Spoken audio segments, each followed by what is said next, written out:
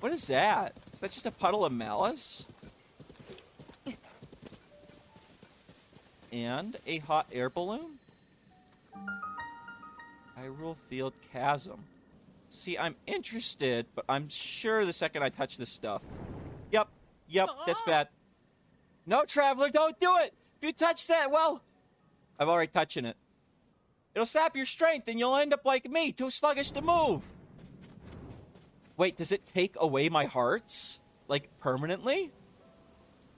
Alright, I'm not gonna go there yet, because I don't want it to take away my hearts permanently. Hey, you, what's up? Oh. Traveler, are you feeling okay? Folks are calling this stuff gloom. If you care for your health, it's best not to go near it. So it's not the calamity?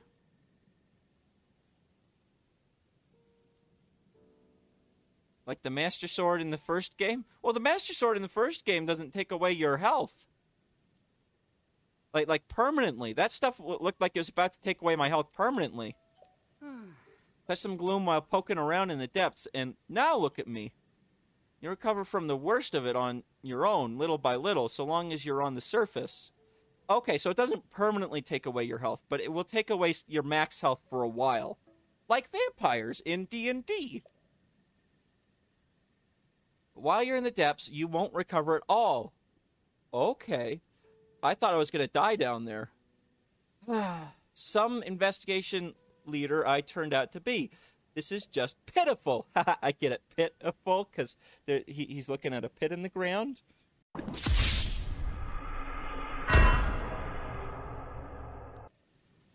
All right, all right. So don't touch it. Got it. Can Shat touch it? Hey, Shat, come touch it. hey, you. Whoa, whoa.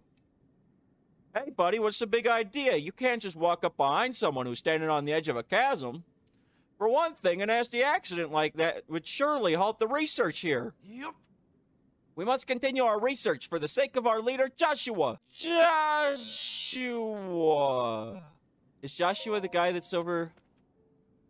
Oh. See that tower over there? That's where you'll find our base of operations, and it's, incidentally, Joshua. Okay. Oh, also, Oh. don't startle me again. I'm deep in my investigation work at the moment.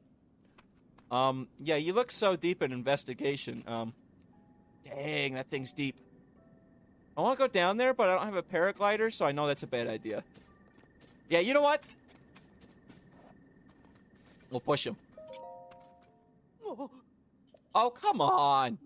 Yeah, yeah, I, you, you already... oh no, that's dangerous.